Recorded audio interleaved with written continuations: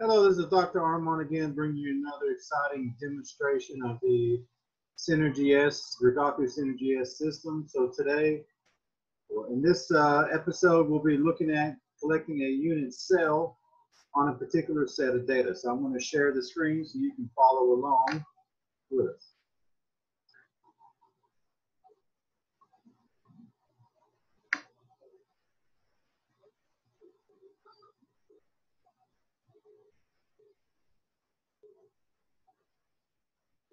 Okay, so I have already mounted a crystal onto the diffractometer. And again, what we use is a nylon loop. So if I kind of highlight, you can kind of see the loop in red. So within this nylon loop, I have the crystal mounted, which is shown here. Right there. And so always, we in the previous video, I showed you how to mount and align a crystal into the X-ray beam. And the uh, most intense part of the beam is located in this circle right here. So that's about 100 microns. So as you can see, my crystal is slightly bigger than the, the most intense part of the beam, but it's okay. The majority of the crystal is in the beam. So what we can do is, if I rotate it 90 degrees, we'll see that it's still aligned. And so what do we use to mount the crystal into the, uh, the loop is we use a very thin film of Paratone oil. It's a very thick oil. You can kind of see it shimmer right there. So in this area here, the oil forms like a little film and it sticks the, the crystal onto it. Because remember, this is at cryo temperatures. So we're once you the cryo, the cold nitrogen air touches the crystal, it kind of glues it to the oil so it doesn't move. So again, you always need to mount and align your crystal so that it's in the center of the beam. So with that said, we're going to exit and I'm going to show you the screening properties. Now, whenever you mount a crystal, it's always best to screen it first to see if it's an ideal crystal or not. And if it's not a good crystal, it'll show up most of the time in the screening process, so you can always go back and try another crystal to mount. Now, the, uh, selecting the crystal is probably the most important part in this process because if you don't select a good quality crystal, it's going to cause problems in the data collection and maybe even the data assignment.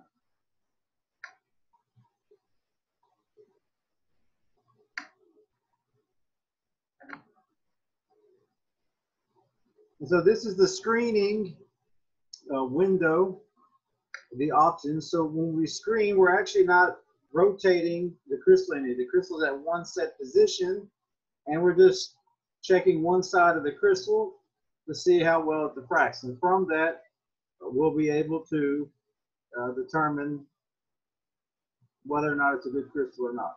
So the approximate theta, uh, you know, some people use zero, other people use, you know, you can set it to whatever you want. Now I like negative 35 because when I I was I used the older version CrystalClear program and with the older version detector, it usually would set it to negative 35 theta. People also set it to zero degrees. It's up to you.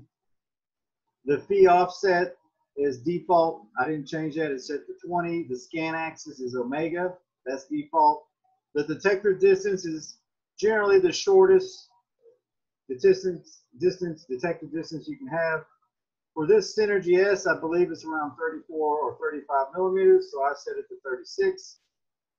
And then you can set the exposure time. Now the exposure time is a little tricky because depending on your makeup of your crystal and the quality of the crystal, you may, you may need to adjust this. So what we're looking for when we do a screening is we want to at least generate, you know, approximately 15 reflections. So if we don't get 15 reflections, we'll go and we'll increase the exposure time or we'll try a bigger crystal. So I'm just going to set it for two seconds. That's like my default. You can set it to what you like. So once we do all that, we hit OK and screen. So now it's going to move the goniometer, which holds the crystal to the appropriate uh, phi, omega, kappa, omega, and theta angles. And then it's going to warm up the X-ray uh, because it's been idle for a few hours and it's been shut down. So that's what it's doing right now. It's ramping it up to 50 kilovolts and one milliamp. Now, as you can see, we're using copper radiation. That's what's shown here. And copper is for small molecules, probably the more robust, uh, more powerful uh, radiation to use. We also have ability to do moly, but what would take copper maybe 10 minutes might take moly a few hours. So we always prefer copper uh, when doing the diffraction experiments. So right now it's ramping up, it's almost there. And it's going to quickly do about 10 images at those current angle positions.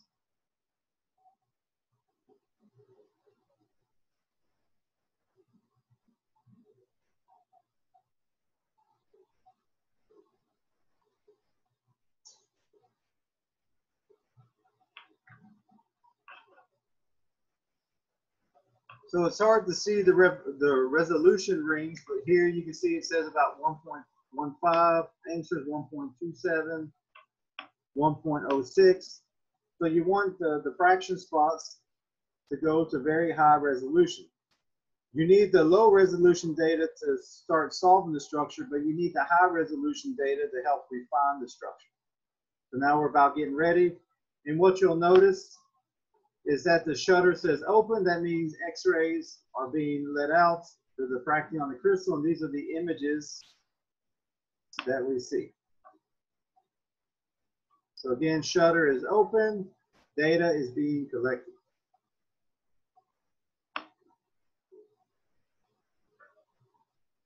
All right. So you see we have spots. So this is about five angstroms. This is about 1.26 angstroms. And so you see we do have some spots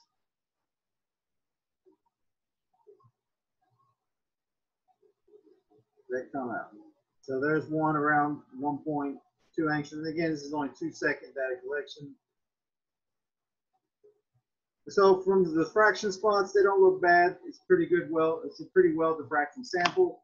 Now, if we come over here, we look at the reflections. So we had a total of 189 reflections. That meets our threshold of at least 15. There were 179 that were accepted. It gives us a percentage of about 95%. Now, this is just a loose requirement. So sometimes what may happen is you may have good diffraction data, but your percent reflections accepted may be low. If you see that, it's probably best to go on and do what's called the pre-experiment. So another thing we need to look at is the uh, unit cell. So here it, it checks the, the Cambridge structure database and determines if there's any unit cell similar to the unit cell that was calculated. And so what you can do is you can click on it and it'll pop up all the unit cells that are similar to your unit cells. So what you'll need to do is you'll need to kind of look through these and see if any of these would match your uh, crystal. Now from those 10 images, or 10 or 20 images, I forgot how many they did, let's see.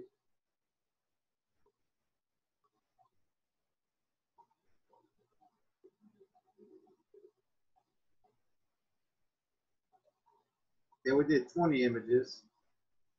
So from those 20 images in that quick amount of time, it was able to determine the crystal system. So it thinks, and this again is a very quick uh, determination, it thinks it may be primitive tetragonal with the point group 4 upon m.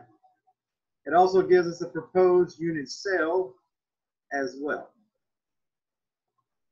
Next, we need to look at the number of reflections in the highest resolution range, so about 1.25 to 1.17. You see we have about 49 reflections. The I over sigma is about six, so the higher this value is, the better quality data that is. About six is not that great. Usually you want 10 or better. But again, this was at two seconds. And so based on this, we should go ahead and run the pre-experiment, which does a more thorough examination of the crystal. So we're going to go down here where it says experiment, and we're going to click on edit.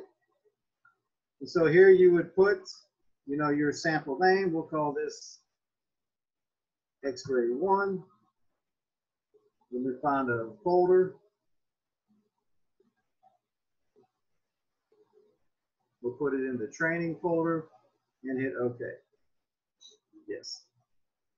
We can put the proposed formula. It doesn't have to be the exact formula, but just the atom type. So I know it has carbon, hydrogen, nitrogen, oxygen, and sulfur.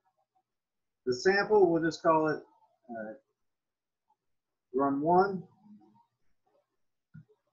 Now the exposure time was determined based on our screening.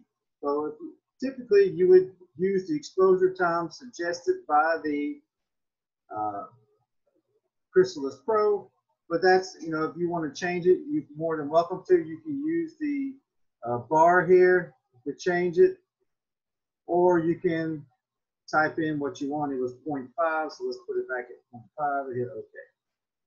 Generally, you don't have to mess with this. You can just use what the what CrysAlisPro determine what the scan time should be. There are lots of different types of experiments, uh, complete data for publication, a quick look, redundant data for publication, absolute structure, and time constraint.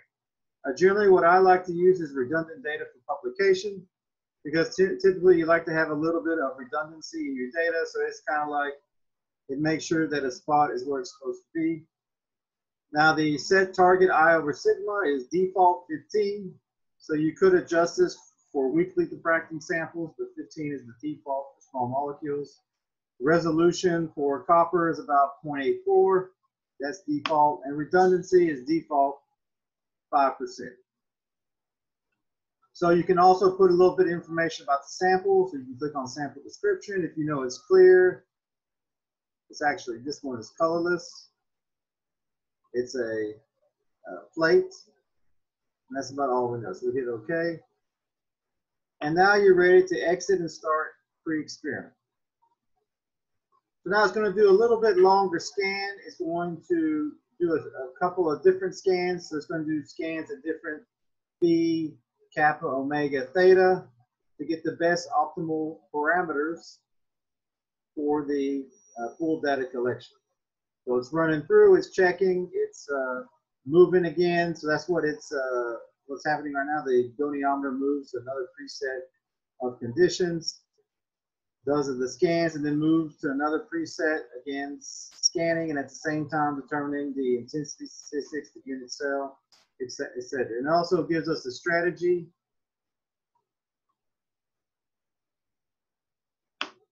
it says, okay, uh, to do a full collection on this, we're going to need about 13 or 2700 it changes because it's doing it uh, frames, which are, you can say pictures, and it's going to take about 22 minutes.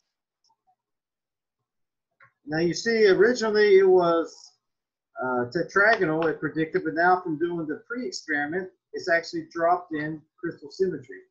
It dropped that back down to monoclinic. So just doing the screening gives you an idea of the unit cell, but doesn't, I wouldn't take it as a hard fact because when you do a pre-experiment, it's a more uh, detailed uh, collection. So now the pre-experiment is done. It's calculating the strategy used for this experiment. So again, the final result, it still thinks it's tetragonal. It suggests primitive lattice. There's been about, you know, 91% of the reflections were accepted. you know, the approximate is about 85 to 90. So as long as you have 85 to 90 percent or more reflections are accepted, that's a good indication to continue with the uh, data collection. So again, that's a rough ballpark, 85, 90%, but again, lower, you'd have to use your judgment on that. So to tell you about a few things about the, the strategy window, so resolution is set to 0.837, that's default. The Laue group, it suggests uh, tetragonal. However, based on my experience, I know for a fact that it is not tetragonal. So since I know based on doing this experiment before that it's not tetragonal, I'm actually going to do a full data, a full sphere of data collection.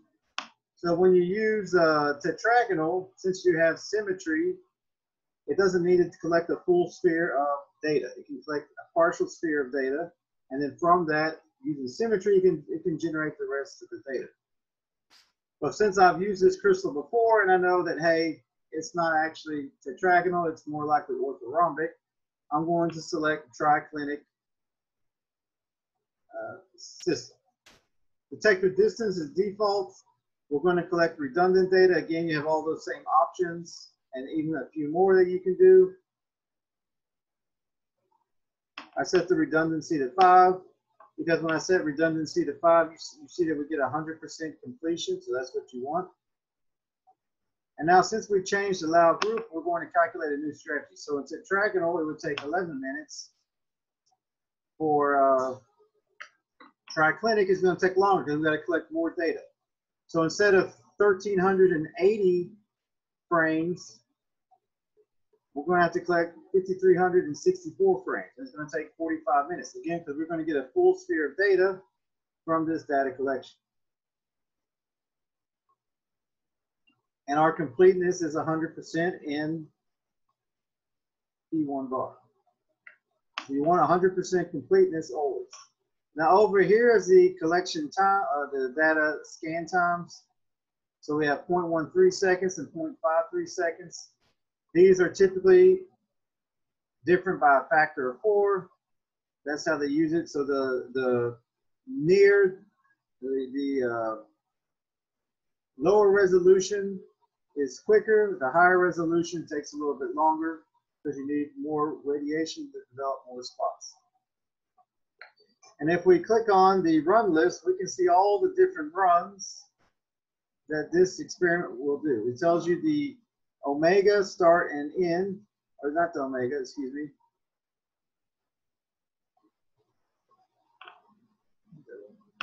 So we got the kappa angle, the phi angle, the detector angle, which I believe is theta.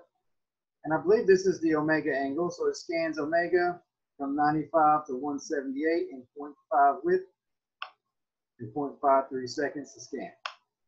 So it's going to do all these data, data sets or collect all this data at these different angles to get a full data set. And once you have the data set, then you can determine the structure. We click cancel. So on this point, you would click Start Experiment, and you would start collecting data on the experiment. So that concludes today's lesson on how do we go from mounting a crystal to determining the strategy needed for full data collection. So on that note, this is Dr. Armand signing off. Till next time, if you liked the video or learned something new, make sure to click uh, the like button. And this here behind me is the Synergy, the Dr. Synergy S system that I was using. So on that note, Dr. Armand signing off.